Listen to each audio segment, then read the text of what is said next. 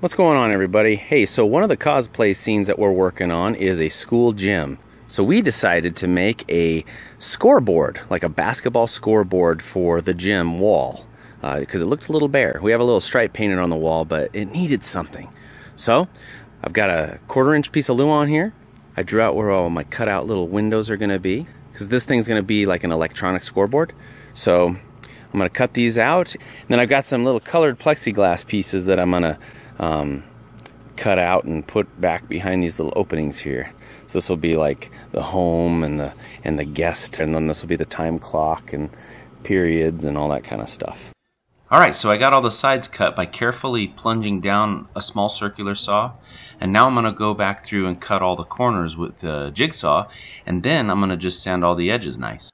Okay, so now that everything's all cut out and sanded, I've attached the plywood face to a 1x4 frame and then since I wanted this thing to look like it's seamless and made out of metal or plastic, I went around and used Bondo body filler to fill all the edges and the cracks and the nail holes.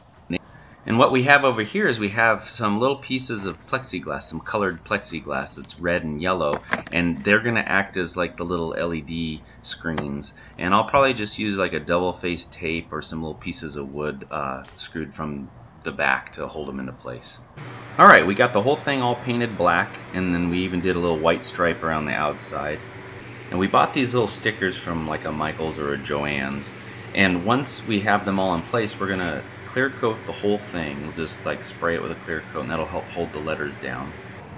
The only other thing that we did is to prevent you from seeing through the plexiglass, we added some plywood to the back of it.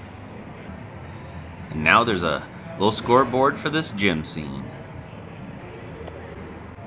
Can't see who's winning.